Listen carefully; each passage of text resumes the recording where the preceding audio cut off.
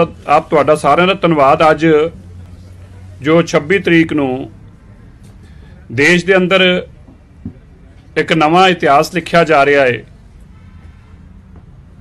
ਸਾਹਿਬਜ਼ਾਦਿਆਂ ਦੀ ਲਾਸਾਨੀ ਸ਼ਹਾਦਤ ਨੂੰ ਸਮਰਪਿਤ ਦੇਸ਼ ਦੇ ਅੰਦਰ ਇੱਕ ਰਾਸ਼ਟਰੀ ਦਿਵਸ ਦਾ ਨਾਮ ਦਿੱਤਾ ਗਿਆ ਵੀਰ ਬਾਲ ਦਿਵਸ।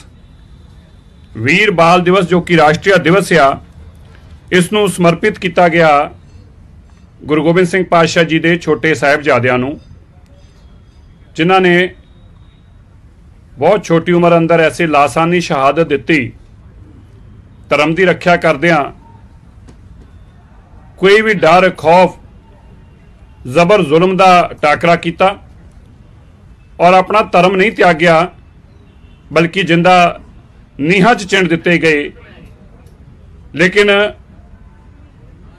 ਜੋ ਸਿੱਖ ਧਰਮ ਨੂੰ ਤਿਆਗਣ ਵਾਸਤੇ ਉਹਨਾਂ ਨੂੰ ਡਰਾਇਆ ਗਿਆ, ਧਮਕਾਇਆ ਗਿਆ, ਬਹੁਤ ਲੋਭ ਲਾਲਚ ਦਿੱਤੇ ਗਏ, ਇਹਨਾਂ ਸਾਰੀਆਂ ਪਰਿਸਥਿਤੀਆਂ ਦੇ ਬਾਵਜੂਦ ਦੁਨੀਆ ਦੇ ਅੰਦਰ ਕੋਈ ਐਸੀ